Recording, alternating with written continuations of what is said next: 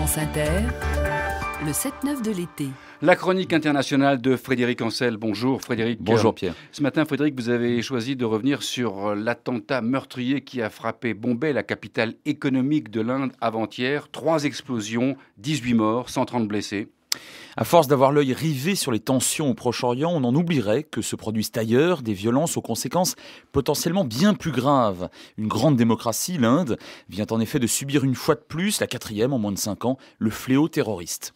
En l'occurrence, les assassins ont pris pour cible la capitale économique du pays, Bombay, comme en 2006 avec l'attaque de plusieurs trains de banlieue, ou en 2008 quand un commando avait massacré 166 personnes, tour à tour dans une gare, un hôtel, un restaurant et une synagogue. Les objectifs, jamais militaire ni matériel, mais bien civil. Et puis la méthode, attaque à l'explosif, tout indique que les auteurs de ces attentats cherchent à tuer et à déstabiliser.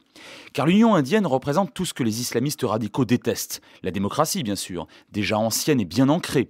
Les femmes, en principe, libres et égales en droit. La liberté de conscience dans un système sécularisé. L'omniprésence des philosophies orientales, hindouisme et bouddhisme notamment, d'autant plus haïes qu'elles sont largement majoritaires dans le pays.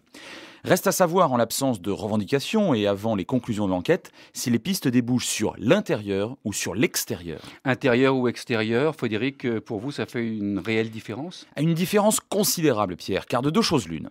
Soit l'attentat provient de l'intérieur, probablement des moudjahidines indiens, et alors c'est bien la nation indienne dans sa nature multiculturelle qui est visée, avec pour but un cycle de représailles et de contre-représailles bien connus, la haine généralisée et la séparation des 130 millions de musulmans d'avec leurs concitoyens Autrement dit, un grand classique de l'islamisme radical. Dans ce cas, police et justice doivent faire leur office, comme dans tout état de droit, et la nation trouver les ressources nécessaires afin d'éviter le piège. Soit l'attentat provient de l'extérieur, de groupes hébergés voire soutenus par le Pakistan, on pense notamment aux fanatiques du Lashkar et Taïba, alors on entre dans une autre dimension, dans le grand jeu géopolitique régional. Oui, et là, euh, Frédéric, évidemment, on arrive à la rivalité entre l'Inde et le Pakistan. Absolument, Pierre, une rivalité qui date de la partition chaotique de 1947 et qui s'est par trois guerres en 1965, 71 et 99.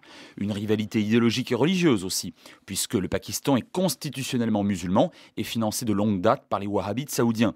Une rivalité diplomatique pour un siège permanent au Conseil de sécurité de l'ONU. Une rivalité territoriale enfin, Islamabad revendiquant une partie du Cachemire indien.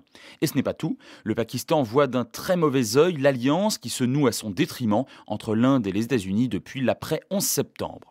Or, chaque tension entre les deux géants de l'Asie du Sud renvoie nécessairement au scénario cauchemar d'une nouvelle guerre.